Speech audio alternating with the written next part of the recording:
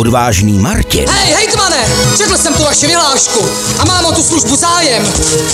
chce osvobodit smutnou princeznu, Máš jistě dost odvahy, ale ti před tebou ji měli také. jenže brzy zjistí, Jsi v moci, která je silnější než tvá vůle. Kdokoliv se mi postaví do cesty, zahyne. že jí má v moci zlý čaroděj.